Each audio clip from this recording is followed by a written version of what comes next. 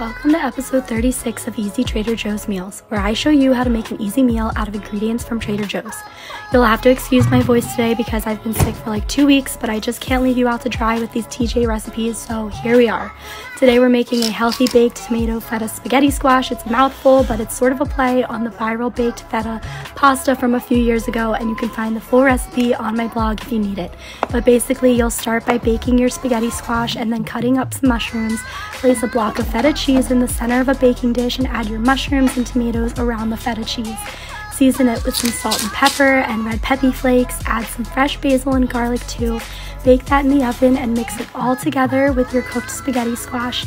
Mix everything until it's fully combined and creamy from the feta cheese. I like to add some more fresh basil on top because it's pretty, but it also tastes really good.